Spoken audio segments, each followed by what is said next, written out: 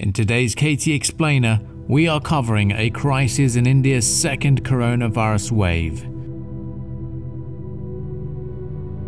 India has been reeling under a severe second wave of COVID 19, and many states are struggling to cope with the rising numbers.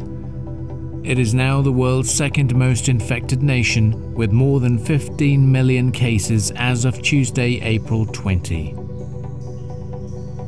We've seen a systematic increase in cases across India, more or less taking off at the same time, suggesting that what might be happening is that something that is more transmissible between people is very rapidly moving through the population of people who are yet to contract the infection and therefore spreading faster.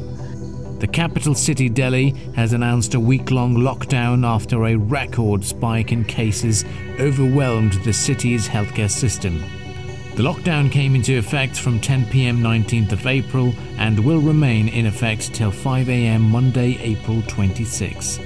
However, during the week long lockdown, essential services such as those related to food, medicine, and health will continue.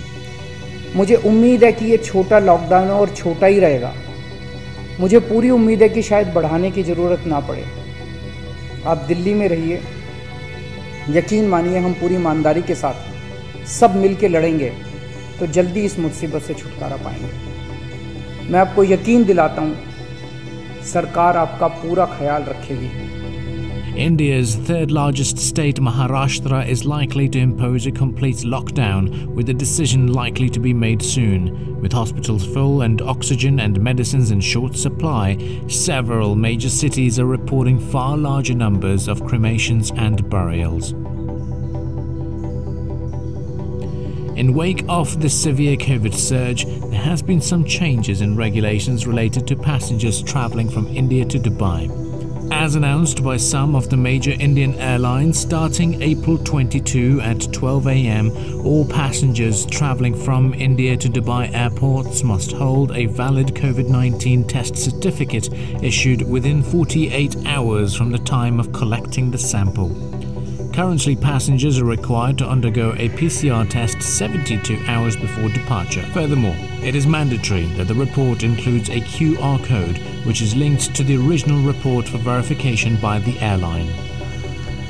Mr. Speaker, after studying the data and on a precautionary basis, we've made the difficult but vital decision to add India to the red list. Besides the UAE, other countries too have now started tightening norms for travellers from India.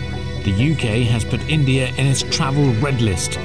Hong Kong has activated an emergency circuit breaker and banned passenger flights from India for 14 days starting April 20. Americans have been advised to avoid travelling to India. New Zealand too suspended entry of travellers from India earlier this month.